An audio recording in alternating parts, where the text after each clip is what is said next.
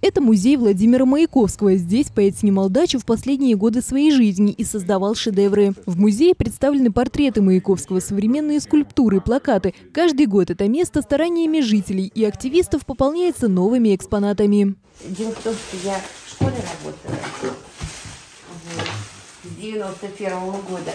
И вот эти все старые материалы, которые нужно сдать в макулатуру, у меня просто рука не поднимается.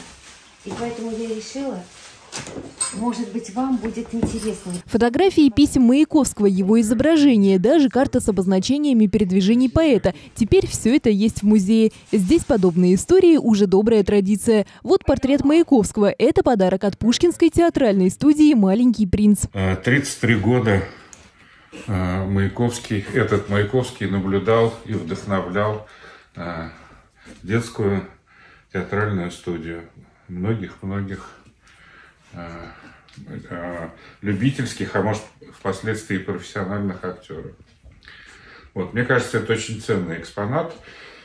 Вот, обычная, обычная серийная штука становится mm-hmm. необычной, уникальной вещью. Приносят каждый, что считает нужным. Портреты, старые издания, фотографии. Даже просто вещи, необходимые в быту. И что вы привезли? Конферку. Сможете показать? Ну вот мне тут надарили, она немножечко лишняя у меня. Тут вот записанные книжки. Вот, куда мне их девать, непонятно. В музее проводятся экскурсии, тематические встречи, спектакли. Одно дело, когда приходишь в место, которое создано кем-то, и совершенно другое, когда понимаешь, что здесь есть личный вклад многих жителей. Наш довольно обширный опыт, э, местный, исторический, культурный, говорит о том, что фотография – бесценный источник памяти, информации, машина времени.